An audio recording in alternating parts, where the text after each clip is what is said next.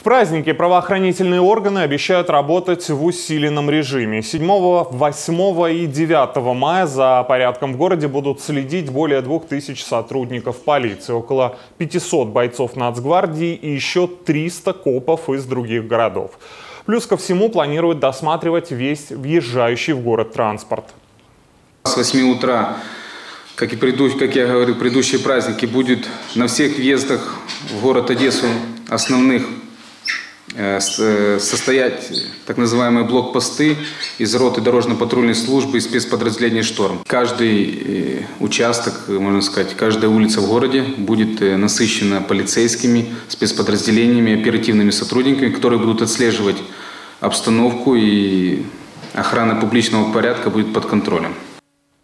Правоохранители обещают пресекать все провокации, реагируя на них достаточно жестко. Также будут проводить профилактические беседы, в том числе и по поводу георгиевских ленточек.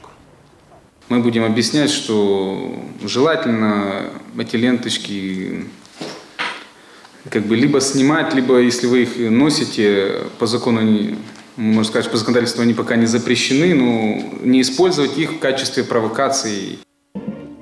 Под усиленной охраной 9 мая будут находиться Аллея Славы, мемориал 411 батарея, площадь 10 апреля, Куликово поле и площадь возле Дюка. Движение транспорта вокруг этих мест временно приостановят. Ну а рамки металлодетекторов в этот раз придется пройти, чтобы попасть на Аллею Славы и площадь 10 апреля.